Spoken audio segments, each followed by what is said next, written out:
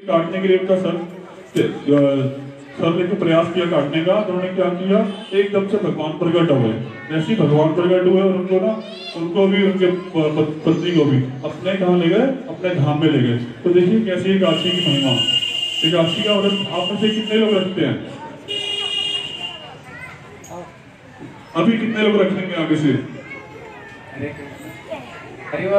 कितने लोग, एकादशी हाथ नहीं उठा रहे। बहुत लोग रखते हैं, लेकिन शर्माइए बात आपको एकादशी का प्रसाद मिलेगा हमारा गोड़िया मठ श्रवण भाई गोड़िया मठ बीच ही में है वहाँ पे एकादशी का प्रसाद मिलता है कुछ से कौन कौन एकादशी व्रत सही सही। अरे उठा उठा हमारे भक्त लोग बैठे वो उठा नहीं रहे सब उठाओ। हाँ देखो जो एकादशी है ना देखो तो मिनट सुना देता हूँ। ये एकादशी एक साइंस है। बोलो भैया एकादशी में क्या साइंस ये चीज़ को समझो और दूसरों को भी समझाने के लिए ये ऋषि मुनि लोगों ने जो जो शास्त्र में विधि बताया बेटा बेटा। हमारे व्यास पराशर हाँ वशिष्ठ जी ये प्रॉपर साइंस आप बोलोगे भैया एकादशी में क्या साइंस तो ये चीज़ को समझो। अब दूसरों को समझाना। फेसबुक लाइव क्योंकि ये शरीर एक मशीन है। कोई भी मशीन को अगर आप कंटिन्यू चलाओगे वो मशीन नहीं चलेगी। वो खराब हो जाएगी। जैसे बच्चे स्कूल जाते हैं वो संडे को छुट्टी होता है कि नहीं? अभी सैटरडे संडे दो दिन छुट्टी होता है। बोले, क्यों? उसको सात दिन ही पढ़ाओ ना, बढ़िया पढ़ेगा। बोले, पढ़ेगा नहीं पागल हो जाएगा। जैसे छह, सात पीरियड होता है, बीच में एक खेल छुट्टी भी होता है। बोले, क्यों? खेल छुट्टी क्यों रखते हैं? बोले, ये ब्रेन है, ये एक मशीन है। अगर खेल छुट्टी हो ना, बच्चे अगर थोड़ी सी खेल कूद ले, ये माइंड फ्री हो जाता है। फिर क्या करता है? उसी तरह से शनिवार, इतवार को छुट्टी होता है। क्यों? अगर छुट्टी हो जाएगा बच्चे लोग थोड़ी सी उसका माइंड फ्री हो जाएगी, फिर अच्छे तरह से वो पढ़ाई करता है। उसी तरह ये शरीर भी एक मशीन है। अगर ये शरीर रूपी मशीन को अगर कंटिन्यू बकरी जैसे दिन भर अगर अगर मुँह चलाते रहेंगे, फिर ये शरीर ज़्यादा दिन नहीं चलेगी। ये शरीर भी तुम्हारी खराब हो जाएगी। इसलिए ऋषि मुनिया ने कहा, भैया, ये शरीर को ऐसे मत चलाए करो। इसलिए बीच बीच में शरीर को थोड़ा रेस्ट दिया करो। शरीर को थोड़ा रेस्ट दो। इसलिए ऋषि मुनियों ने कहा, भैया, पंद्रह दिन में एक बार ये एकादशी व्रत रखो। हाँ यहाँ एक प्रश्न आता है, बोले, एकादशी का क्यों ही हम व्रत रखे? और भी, दूसरे दिन भी व्रत रख सकते हो, लेकिन एकादशी का दिन ही क्यों व्रत रखे? देखो, इसमें क्या साइंस है। आप लोग सुने होंगे, समुद्र का पानी में एक हाई टाइड होता है। सुने हो? चुहार भट्टा होता है। ये पानी उफरती है और घटती है। बोले, कब होती है? ये चंद्रमा ये चंद्रमा, ये पृथ्वी को खींचती है, ये पृथ्वी चंद्रमा को भी आकर्षण करते दोनों दोनों खींचते हैं। लेकिन ये पृथ्वी तो बहुत बड़ी, ये चंद्रमा तो खेच नहीं सकती। इसलिए इसका प्रभाव पड़ता है पानी पर देखना आप ये एकादश से लेकर के पूर्णिमा तक समुद्र पानी में बड़ी बड़ी लहरियाँ आती है बड़ी बड़ी लहरियाँ। जितने चंद्रमा बढ़ते जाएगी, उतना उसका प्रभाव पानी के ऊपर पड़ेगी। उतना पानी उफरता है। यहाँ पर तो कोई समुद्र किनारे पर रहने वाले नहीं। मैं भी समुद्र किनारे में रहने वाला था, पूरी का। इसलिए धीरे धीरे बढ़ती रहती है। जितने चंद्रमा बढ़ेगी, उतना ये लहरियाँ बढ़ेगी। फिर जब पूर्णिमा के बाद में प्रथमा द्वितीया जब चंद्रमा घटती जाएगी, पानी धीरे धीरे धीरे धीरे घट जाती है। उसी तरह ये शरीर में भी पाँच चीज़ से ये शरीर बना हुआ। कौन बोलेगा, बताओ तो शरीर में पाँच चीज़ क्या क्या है? बोलो। बोलो, ज़ोर से बोलो कौन कौन बोले? अरे बोलो। बोलो बोलो पाँच चीज़ शरीर में क्या क्या है? बोले मिट्टी, वायु, अग्नि, जल और आकाश। बताओ ये पाँच चीज़ में शरीर में सबसे ज़्यादा क्या चीज़ बोलो। पानी। कितना percent seventy seventy five percent शरीर में पानी है। इसलिए पानी होने का नाते ये चंद्रमा का प्रभाव पानी के ऊपर पड़ता है, पानी तरल है। आप लोग देख लेना, जिनकी घुटने में दर्द हो। जिनकी कमर में दर्द हो। आप लक्ष्य करके देखना एकादशी का दिन थोड़ी ज़्यादा हो। द्वादशी में थोड़ी ज़्यादा हो। त्रयोदशी की और पूर्णिमा को तो इतने दर्द होगा भी सो नहीं सकते। आप किसी हॉस्पिटल में चले जाओ, किसी हॉस्पिटल अब नज़र करके देखना, ज़्यादा से ज़्यादा बीमारी लोग कब आते हैं? देखना, एकादशी के पूर्णिमा तक आए क्योंकि ये चंद्रमा का प्रभाव शरीर के ऊपर पड़ता है, इसलिए ज़्यादा बीमारी होते हैं। आप किस शमशान के पास में जाओ, देखना मरने वाले लोगों को देखना, एकादश से लेकर पूर्णिमा तक ज़्यादा लोग मरने वाले भी देखोगे, ज़्यादा उसी समय मरने वाले इसलिए हमारे ऋषि मुनियों ने ये बड़े बड़े साइंटिस्ट थे, इसलिए बोले, भैया, एकादशी का दिन अन्न मत खाओ, जैसे रोटी, चावल स्पंज जैसे होता है। अब रोटी खाओ, देखना थोड़ी देर बाद प्यास लगी, पानी चाहेगा अब चावल खाओ स्पंज है देखना, वो पानी मांगेगा आपको, पानी। और शरीर में जितने पानी आप दोगे ये शरीर के ऊपर चंद्रमा का प्रभाव उतना पड़ेगा, इतना बीमारी होगा। इसलिए ऋषि मुनियों ने बताया बोले, फल खाओ। आप फल खाओ, देखना शरीर पानी आपको नहीं मांगेगा। शरीर आपको पानी नहीं मांगेगा। इसलिए बोले, एकादशी का दिन फल मूल खानी चाहिए, हैं? इसलिए एकादशी का दिन अन्न खाने से, ये पुराण में बताया, वो बड़े से बड़े पाप लगता है।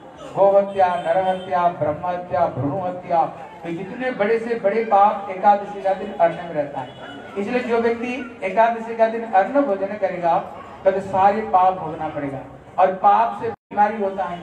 और बीमारी होने पर मेडिसिन लेते हैं। मेड ईट सील क्रोसीन टेरामाइसिन देखना मेडिसिन का नाम क्या? सील सील सील मतलब क्या? पाप है। ये पाप है। क्यों? बीमारी हो रही ये प्रारंभ केवल एकादशी का नाम यहाँ पर। यहाँ पर कोई राजस्थान से कोई यहाँ पर है हाथ उठाओ कर राजस्थान से को और पीछे एक भैया हाथ उठाए। देखो, वहाँ पर भी। जब देखो, राजस्थान में एक नियम है, अगर कोई व्यक्ति अंतिम सज्जा में लेटा हुआ, प्राण नहीं जा रहे, उसी में ही पेशाब मूत्र कर रहा है, बड़ा कष्ट उठा रहा है। अगर किसी ब्राह्मण को बुलाए, बोले, भैया, जल्दी जल्दी इनकी मुक्ति कैसे होगा? देखना, वो केवल बोलेगा, आप लोग कोई एकादशी व्रत करके फल दे सकते हो। उसने और कोई बार व्रत, वो बोलेगा कोई एकादशी व्रत करके फल दे सकते हो? देखो, मैं यूरोप कुछ दिन पहले यूरोप गया था। एक हमारे भक्त परिवार में एक व्यक्ति हॉस्पिटल में दो साल के बच्चे था। उसका शरीर में हड्डी हड्डी रह गया था। प्राण प्राण उसको गले में अटक गया था। प्राण जा ही नहीं रही थी। बड़ा दुख कष्ट, पैसा पानी जैसे जा रहा था। उसके लिए इतने परिवार दुखी। मेरे को हॉस्पिटल लेकर गए, उनका परिवार। बोले, बाबा, इनको दुख नहीं देखा जा सकता। इतने पैसा जा रहे प्राण नहीं जा रही शरीर केवल हड्डी हड्डी रह गया आप मुझे बात बताओ, कैसे उद्धार होगा? मैंने कहा, एक काम करो, आप लोग एकादशी व्रत करके इसका फल दो। बोले, बाबा, अभी दस दिन एकादशी बाकी है। लेकिन इनके एक एक दिन बड़े कष्ट से बीत रहा है कि बच्चे को बैठा दो। इसलिए बड़े कष्ट से एक एक दिन बीत रहा है। मैंने कहा, एक काम करो, एकादशी व्रत करके फल दो। बोले, दस दिन बाकी अभी। मैंने कहा, एक काम करो आप लोग संकल्प आ जाइए पूरा परिवार वाले संकल्प करके हम एकादशी व्रत देंगे संकल्प किया तो उसी रात में प्राण दो उसी रात में, कुछ दिन पहले नोएडा में हम कथा कर रहे थे, एक माता जी ऐसी थी, बड़ी कष्ट उठा रही थी, प्राण नहीं जा रही थी। एकादशी व्रत करके देते ही प्राण छूटी। हमारे वृंदावन में एक एक ट्रक में एक गैया की एक्सीडेंट हो गई। उसका हड्डी पसीना चुरचुर हो गई। अमेरिका में एक माता जी थे, हमारे बड़े गुरु जी का शिष्य। वो गुरु जी को पास में आए, बोले गुरु जी ऐसे गैया की एक्सीडेंट हो गई।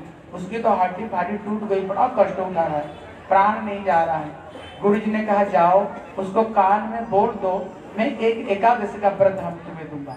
वो बोलते ही प्राण छूट गई क्योंकि एकादशी की जो अधिष्ठात्र देवता स्वयं भगवान कृष्ण है, स्वयं भाग्य बिहारी बड़े से बड़े पाप भी ये एकादशी व्रत से अपने आप खत्म हो जाती है। ये जो अभी रुक्मांगदी कथा सुना रहे थे ना, कि ये राजा रानी कैसे बने? ये पूर्व जन्म में ये शुद्र सुधारी थे। ये अपना सुधरानी के प्रति बहुत आसक्ति था।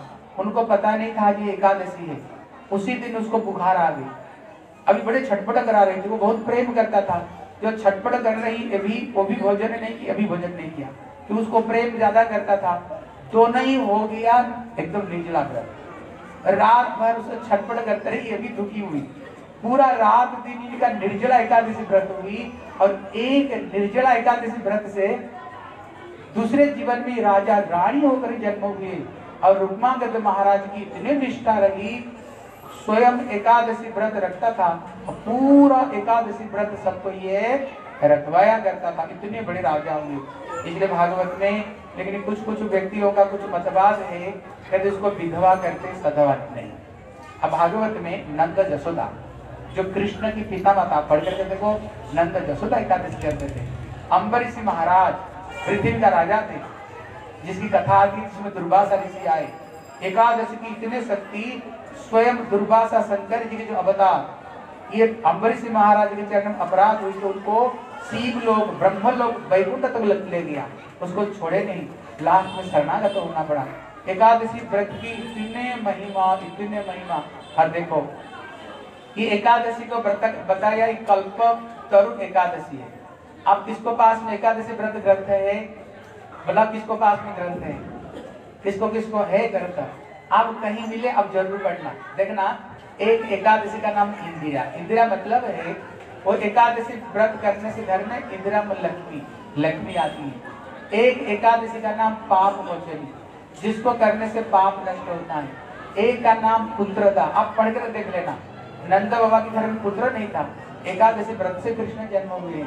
एक एकादशी का नाम है मोक्षदा जिसको करने से जीव संसार का बंधन से मुक्ति हो जाती है। एक एकादशी का नाम है पाप मोचनी जिसको करने से जीव का पाप नष्ट हो जाता है। आप स्वयं पढ़ करके देख लेना।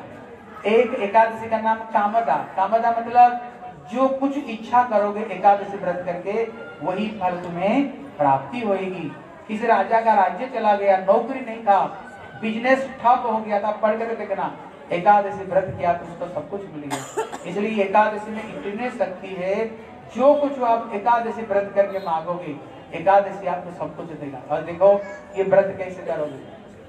अब लोग कोशिश करना, दोपहर तक कुछ नहीं खाएँगे। जैसे दोपहर तक ना क्यों? एक मशीन है। ये मशीन को अगर थोड़ा रेस्ट दोगे, ये मशीन ज़्यादा देर तक शरीर काम करेगा, शरीर सुस्त रहेगा तुम्हारी। क्योंकि अगर दिन भर चलाते रहेंगे, फिर तो गड़बड़ी है। दोपहर तो कोशिश करना कुछ नहीं खाने के लिए। उसको बाद में, जैसे आप लोग नवरात्रि रखते हैं ना, जैसे फलार करते हो, है, खाने के लिए बहुत, दूध, दही, और हमारे हमारे जी मठ में तो एकादशी का दिन बाबा लोग बड़े खुश हो जाते हैं। बोले, क्यों रोज रोज तो रोटी सब्ज़ी खाते हैं, लेकिन उसी दिन कभी पकौड़ा के आटा भी बना करके कुट्टू का आटा की पकौड़ा बना कर खा लेते हैं फ्रूट क्रीम भी बना लेते हैं मक्खना है, मूंगफली है, आलू की सब्ज़ी है, और कितने कितने तरह उस दिन तो नई नई नई नई डिश बनती है। इसलिए हमारे मंदिर में कहते भैया कब एकादशी आएगा?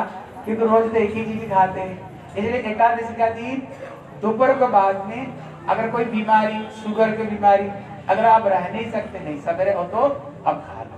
है, सवेरे जैसे काशी बलगा सब्ज़ी कुट्टू की, उसका जैसे रोटी बना करके हाँ सब्ज़ी बना कर आप खा सकते हो। इसलिए दूध, दही सब कुछ खा सकते हो, लेकिन केवल अन्न मत खाना। काल आप लोग को पता होगा नवरात्रि में आप लोग व्रत रखते हो, उसमें कोई अन्न मत खाया करो। हाँ जैसे गेहूँ, रोटी, जौ, ये जितने तरह का अन्न का मतलब और सब चीज़ खा सकते तीन बार, चार भी बार भी खा सकते कोई दिक्कत नहीं, अगर कोई बीमारी। लेकिन अन्न मत खाया करो इतना चीज़ छोड़ दो। फिर देखोगे आप जो मांगोगे एकादशी आपकी वही देखा ठीक है? बोले श्री एकादशी व्रत की।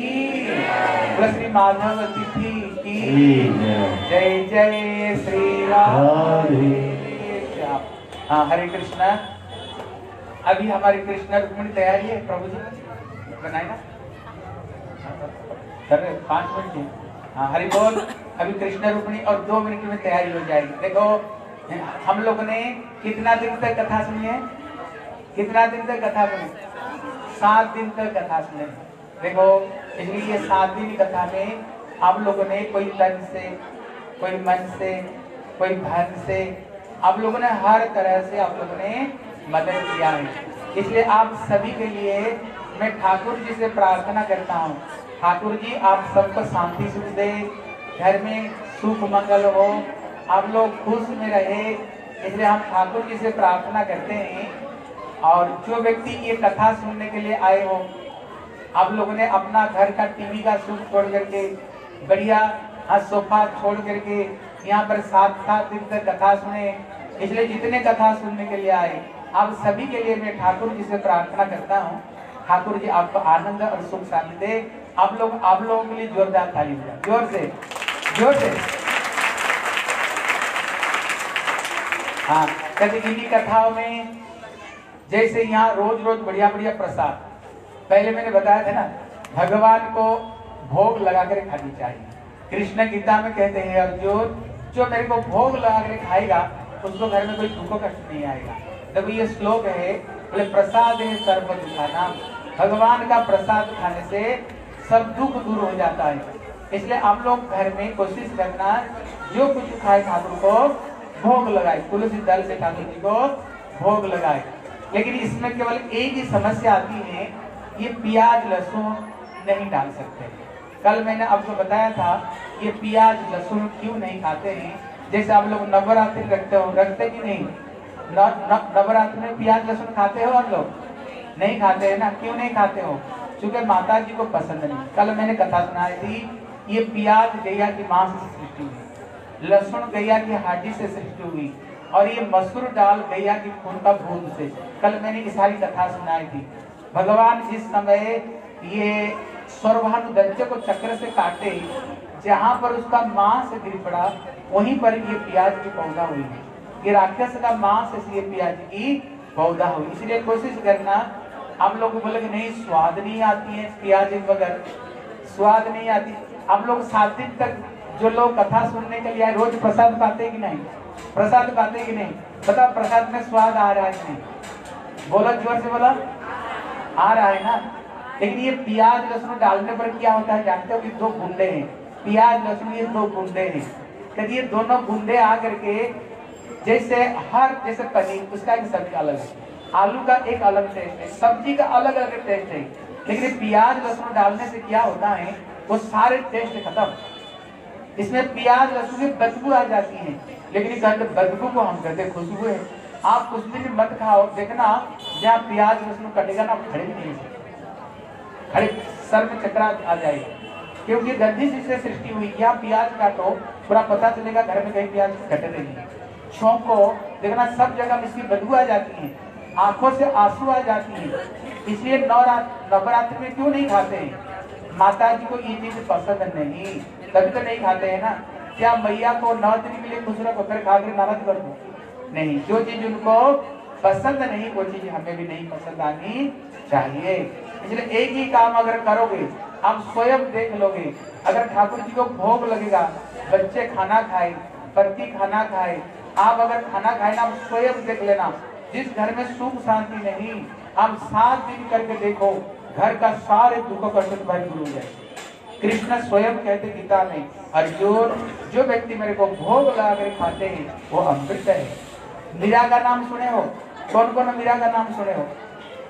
मीरा को जब जहर भेजा राणा ने वो ठाकुर को बगैर भोग लगाए तो, तो खाती नहीं लेकिन ठाकुर को उन्होंने जहर भी भोग लगाया ना वो अमृत बन गया। इसलिए भगवान को भोग लगा कर खाने से वो अमृत हो जाता है। कहते जैसे खाओगे अन्न वैसे बनेगा मन। अगर प्रभु का प्रसाद खाओगे, तुम्हारी खून भी प्रसाद बनेगा देखना मन में कितने शांति सुख है। कल मैंने बताया था ये सुदामा इतने गरीबी क्यों बना और इतने धनी क्यों बना? कल याद है, किसको याद है? ये गरीबी क्यों बना था सुदामा? बोलो, किसको याद है? क्यों गरीब बना था? हाँ कृष्ण की जो माता जी ने चाना दिया था सुदामा को, उसने कृष्ण को दिए बगैर खा लिया। इसलिए ये गरीब बना, धनी का बना। जब कृष्ण के लिए फिर दो मुट्ठी चिड़वा लेकर गए, ठाकुर जी एक मुट्ठी खाए, दो मुट्ठी खाए। जब तीसरे मुट्ठी खाने जा रहे थे रुक्मणी, हाथ पकड़ी, बोली, प्रभु, नहीं।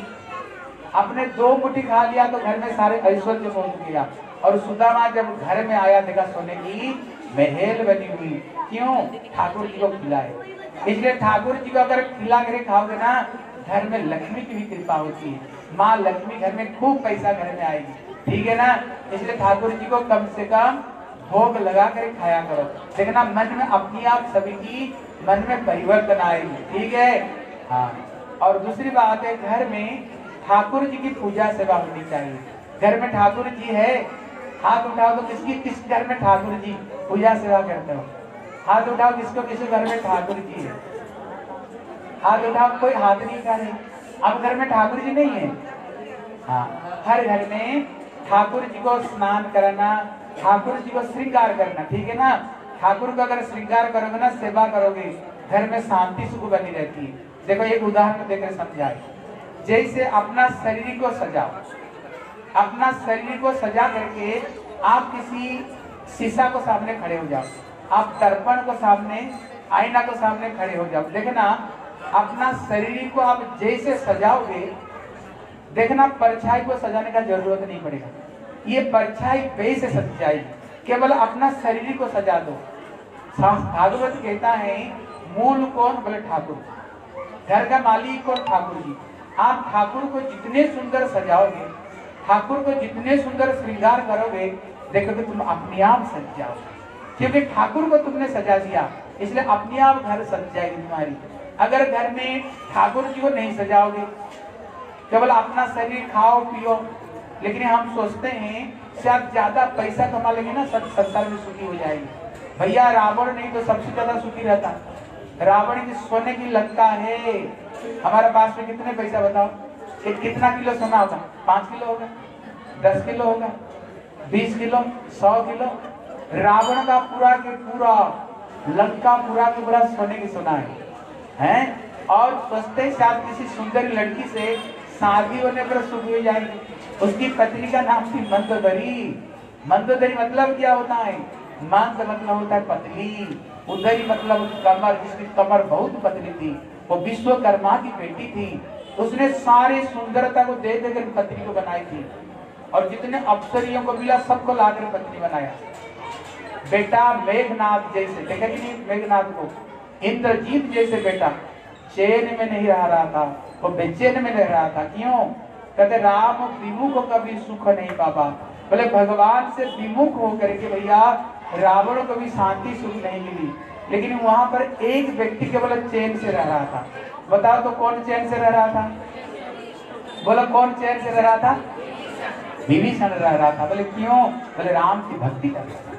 प्रभु की भक्ति करता था, इसलिए चैन से रह रहा था। और सब लंका में बचे। और जब हनुमान जी गया, उसने क्या किया?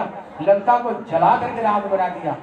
पूरा लंका को जलाया, लेकिन एक व्यक्ति का घर को नहीं जलाया। बताओ तो किसके घर नहीं जलाया? ज़ोर से बोलो। हाँ यहाँ हनुमान जी कहते हैं, अगर भजन नहीं करोगे ना, तुम्हारी संसार में आग लगा दूँगा। अगर प्रभु की भक्ति करोगे ना, केवल बचोगे।